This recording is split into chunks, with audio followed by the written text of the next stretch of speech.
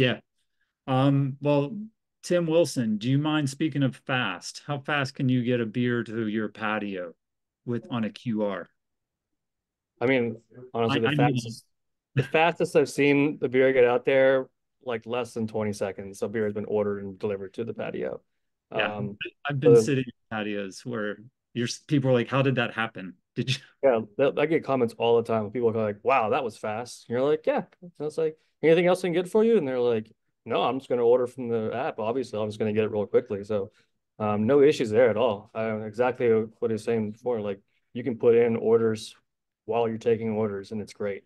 So, yeah, I mean, it's yeah. it's funny how much fast, how much speed matters, right? It's it's always a pleasant surprise, and people, I I find people always are very happy when things get there quickly.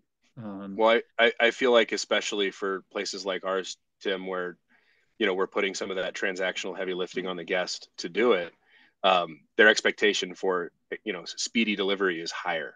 Um, there's not a lot of trust, especially for first time people. I just sent this order out into the ether. Is anybody going to get it?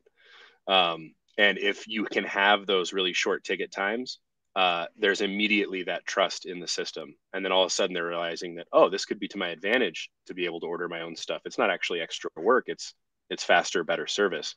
But you're always, I, I feel like here anyways, we're always under that microscope. We're always walking that razor thin edge where if things come out fast and consistent, like they normally do, uh, it's one of the better experiences that they've had. Um, mm-hmm. If any, if anything goes awry, if they're missing a side of ranch with their French fries, and now they wonder how to get that. Do I flag somebody down? Is there a way to order it through the app? How do I how do I ask for this one simple thing, a spoon for their soup? Um, then the wheels fall off really fast, and so it's you you got to have it dialed.